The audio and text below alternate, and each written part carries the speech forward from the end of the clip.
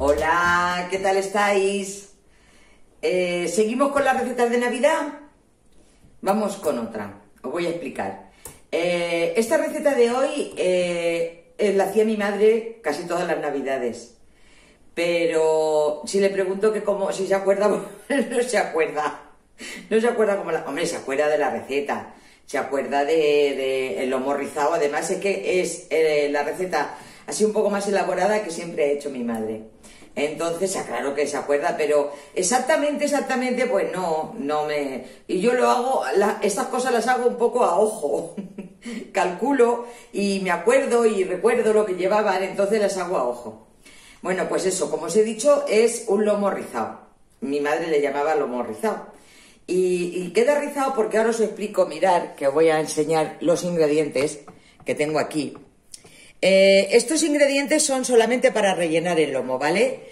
Vamos a, para no liaros, lo que vamos a hacer es eh, rellenar el lomo primero, os explico, y después mm, ya vemos los demás ingredientes para el sofrito.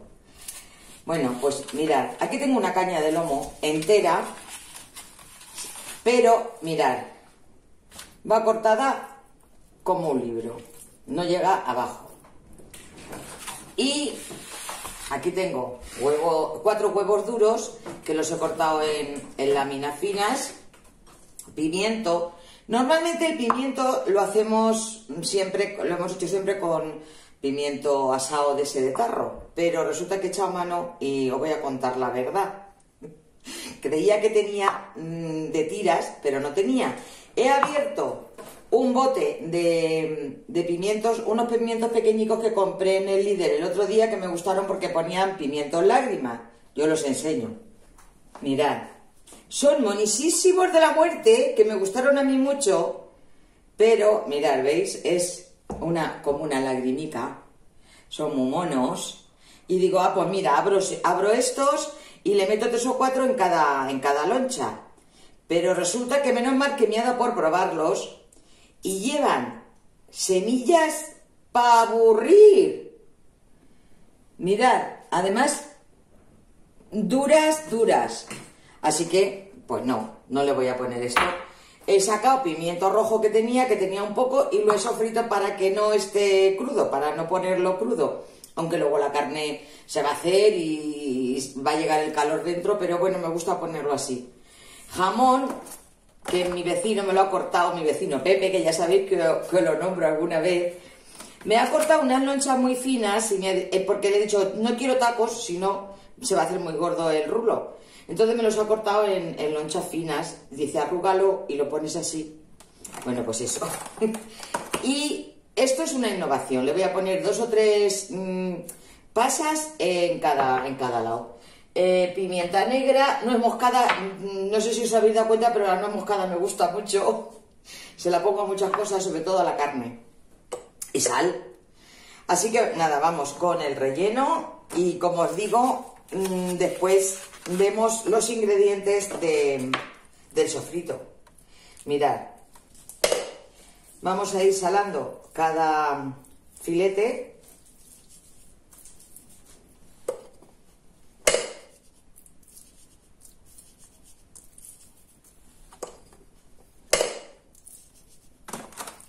Ya está aquí Olivia. Pues no hay para ti, Oli. No sé si la veis. Quita, que esto está crudo, tonta. Esto no es para ti. Bueno, ya, ya me he manchado otra vez la mano. Bueno, voy a coger. Bueno, vamos a poner un poco de pimienta por todo. Y un poco de nuez moscada. La nuez moscada se la voy a poner así, un poco más ¡Hala!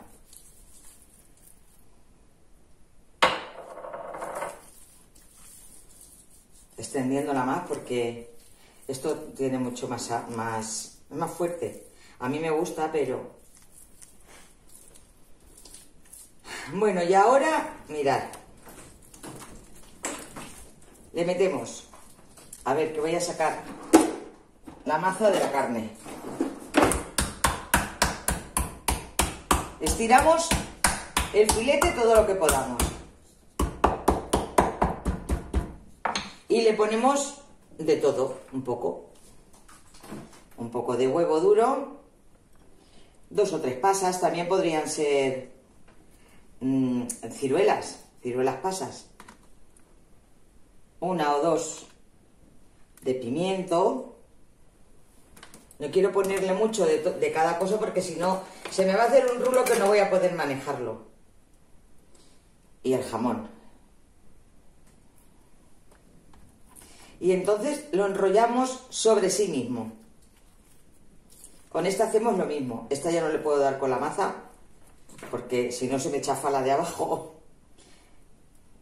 Le ponemos el jamón, el orden de, los factores no altera el producto. Dos o tres o cuatro pasas y el pimiento. Y volvemos a enrollar. Y vamos haciendo así con todos. Mm, si, si os veis que se van desenrollando, pues se pueden ir sujetando con un palillo. A ver, mirad. Vamos sujetando el de abajo con el de arriba. Y ahora rellenamos otro. Le ponemos jamón. Si la lonchica es muy pequeña, pues le ponemos dos. El huevo.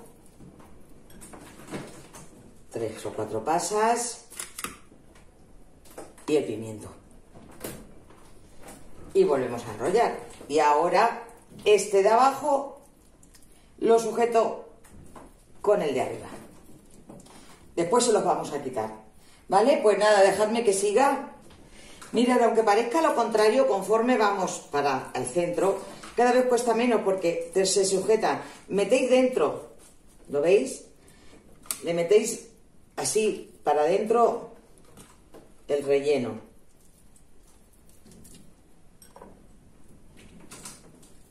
Y luego hacéis así y le metéis también este para adentro y se queda ¿Lo veis? Se queda muy metido.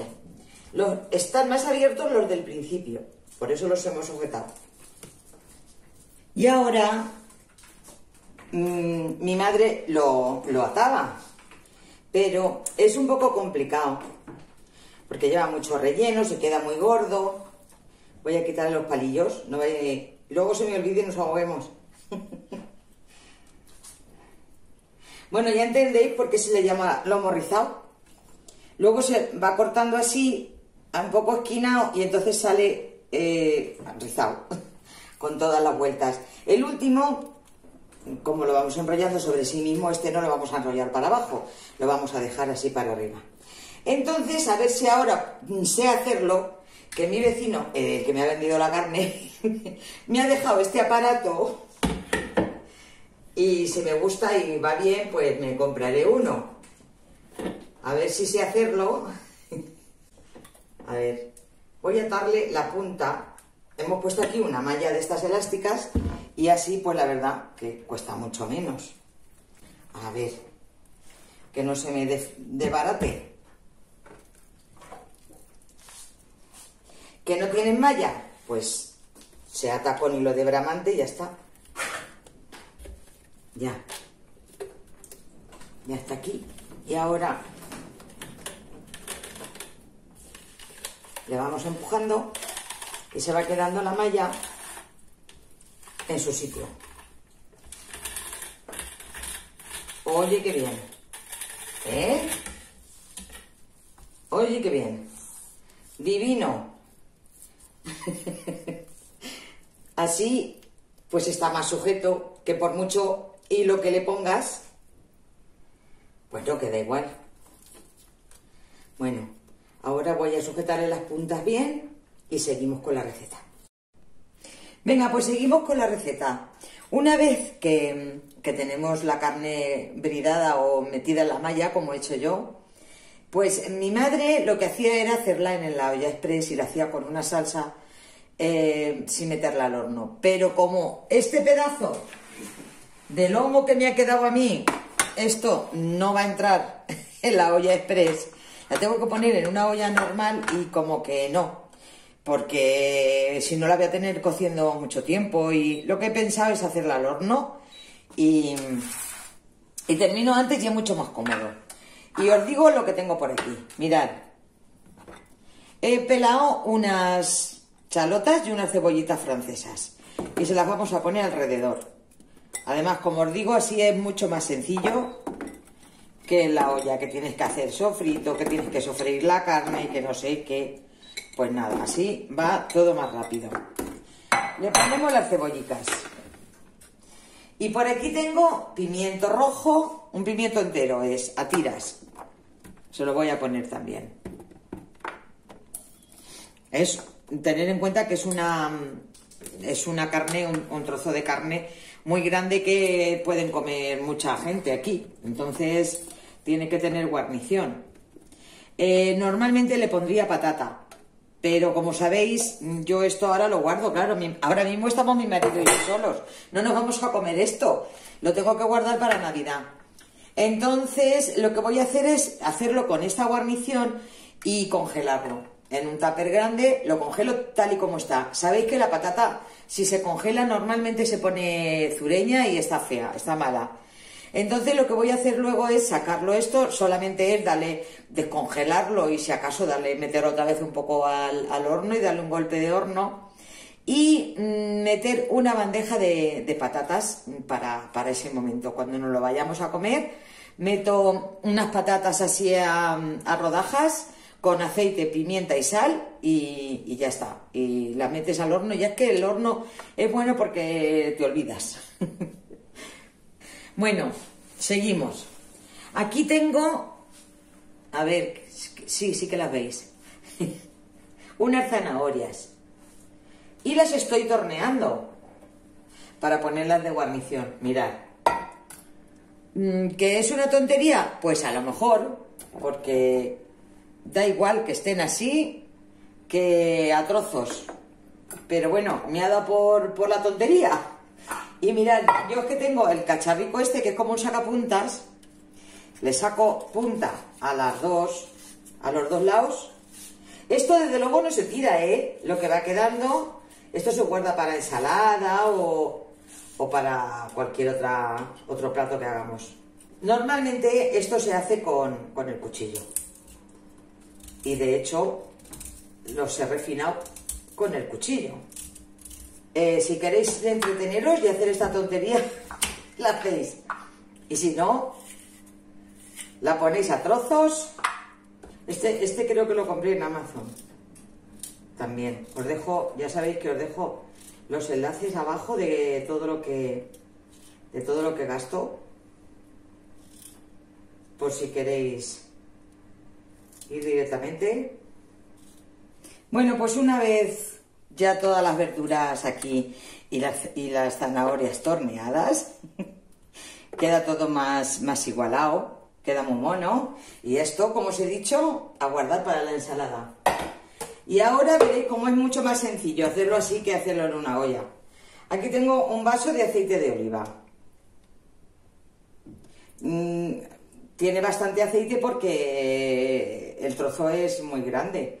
Si, lo podéis, si fuese la mitad, sí que lo podríais hacer en la olla express. Y para que no tenga horno, pues también se puede hacer en dos partes, en dos trozos en vez de en uno entero. Y se puede meter en la olla. Se sofríe un poco y todas estas verduras se cortan más pequeñas, se sofríen y se le echa pues prácticamente lo mismo. Un poco de caldo, un poco de vino, unas especias. Mirad, mm, aquí tengo mm, con agua y con mi super caldo, aquí está, que es el que siempre os digo que lo tenéis en mi canal. Esto, como lleva muchísima sal, me dura, pues, en el frigorífico, pues como dos o tres meses y no se estropea. Claro, al tener mucha sal sirve de conservante. Entonces le he puesto una cucharada sopera a como medio litro de, de agua. El aceite, un vaso de aceite, un poco de brandy, un vaso pequeño de brandy. Este es un fino mmm, amontillado, pero le podéis poner el vino que queráis o el que tengáis. Cinco o seis ajos, un puñado de perejil.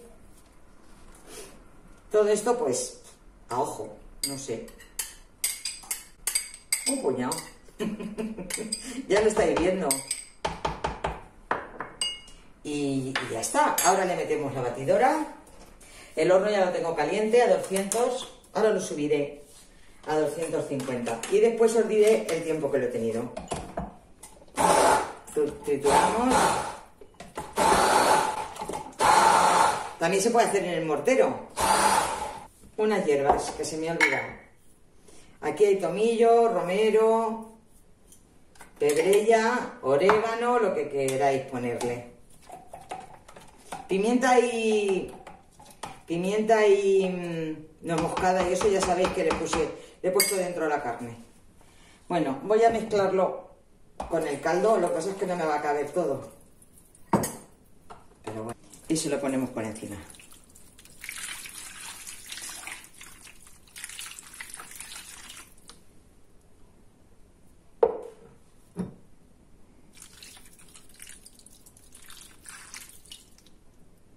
Le voy a poner un papel albal y al horno.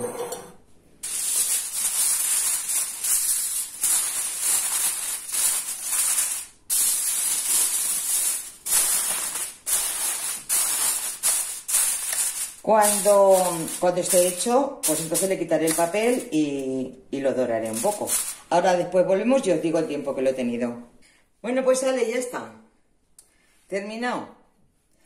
Lo he tenido exactamente una hora y tres cuartos o así. Primero lo he tenido una hora tapado con el papel albal, le quito el papel albal y entonces lo he dejado tres cuartos de hora para que se dorara un poco por fuera. Eh, lo he tenido a 200 todo el rato, para que no se quedara demasiado seco. Lo veis, tiene todavía mucho jugo, porque lo que quiero es guardarlo con ese jugo, porque si lo meto para, aunque sea darle un calentor cuando lo, no lo comamos que tenga, que tenga jugo. Bueno, os he cortado aquí una lonchica para que veáis lo de el rizado del lomo que da, pues eso, con las ondicas de, del relleno. Vamos a poner, vamos a servir una ración, que lo veáis, con la guarnición. Este lo probaremos esta noche. A ver cómo está. Una cebollica y una zanahoria y un poco de pimiento. Un poco de todo. ¿Vale? Bueno, pues nada. Otra receta que, que podéis guardaros eh, por si no tenéis pensado todavía lo que vais a hacer estas navidades. Y ya sabéis, si os ha gustado, acordaros de darle al dedico arriba, y si no estáis suscritos, pues ya sabéis la cocina de Isabelu. Un beso y hasta la próxima.